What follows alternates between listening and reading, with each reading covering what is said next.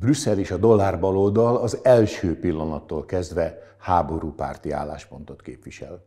A dollár baloldal közös miniszterelnök jelöltje Márkizaj Péter pedig egészen odáig ment, hogy alig pár héttel a háború kitörése után már egyenesen magyar katonákat is küldött volna a frontra.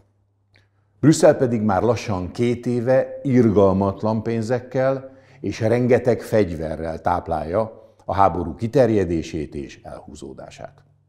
A magyarok egyedüliként Európában a nemzeti konzultációban szabadon elmondhatták a véleményüket arról, támogatják-e, hogy tovább pénzelje Brüsszel a szomszédunkban dúló háborút. Az akaratnyilvánítás eredménye egyértelmű. A magyarok békét akarnak, nem háborút.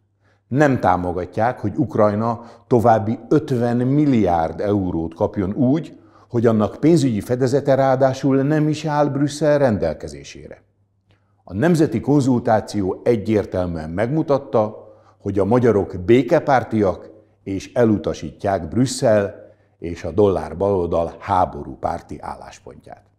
A magyarok az ukrán Európai Uniós csatlakozás ügyében is határozottan állásfoglaltak.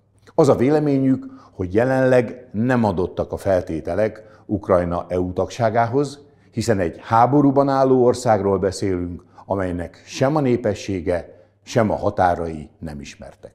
Ráadásul Ukrajna felzárkóztatása teljesen térdre kényszerítené az európai nemzetgazdaságokat. A Fidesz és a KDNP a szomszédunkban dúló háború ügyében is Magyarország érdekeit képviseli.